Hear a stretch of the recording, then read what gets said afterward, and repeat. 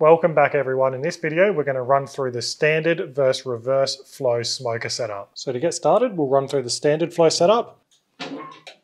So typically you'll have your fire running in your firebox and your fire will run through your firebox into your cooking chamber through and over whatever you're cooking on this cooking grate. Then your heat and smoke will run through this chimney stack and up out the top here. So one downside to the standard setup is you tend to cop a lot of direct heat from your fire around this part of the cooking grate. So if I'm smoking a big brisket or a pork butt, I'll tend to position it more towards the middle or the chimney end. One way to get around that problem is to have your fire running on the very right side of your firebox and that way there'll be less direct heat getting to whatever you're cooking in your cooking chamber. Another option is to put in one of your tuning plates on the firebox end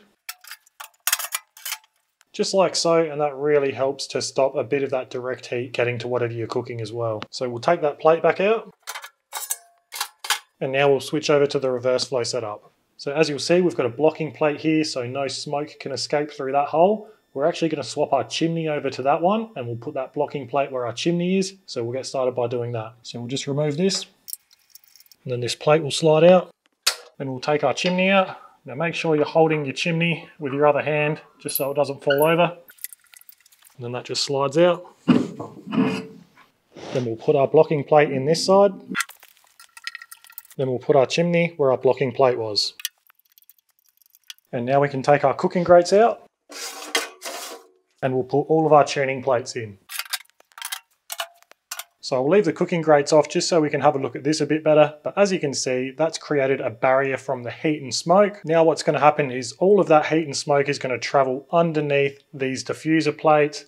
A little bit of smoke and heat is going to come up through these holes, but the majority of it is going to come up this end. It'll shoot up through here and then back over whatever you're cooking and out through our exhaust here. So the hottest part of your smoker is going to be right up this end now. It's not going to be as intense as what it would be without the diffuser plates near the firebox. So over your whole cooking grate surface, you're going to get a much more even temperature. So what I'll quickly do now is put the cooking grates back in and that's what your reverse flow setup's going to look like. And because there's still holes in these tuning plates, you still want to be using either Alfoil or foil trays to catch any drippings underneath. So that pretty much covers off the reverse flow setup. So we'll shut our lid and we'll have a quick look at the setup from the outside. So as you can see, we've got our blocking plate over here and our chimney is here. So I've ran a few other reverse flow offset smokers in the past. I've only ran this one in reverse flow once before. And what I found is by having all of them tuning plates in there, you really start to restrict the airflow going through your cooking chamber. When you're running the standard flow setup, you've got a good amount of airflow going straight from your firebox through your cooking chamber and out through your chimney stack because there's nothing really restricting it in between. So if you are running in reverse flow setup, make sure you've got a clean burning and efficient fire going in your firebox. I usually find I've got to have my side firebox door a bit more open on the vent or I might even have to open the door up a little bit completely just so there's a bit more oxygen in there to produce a clean burning fire going through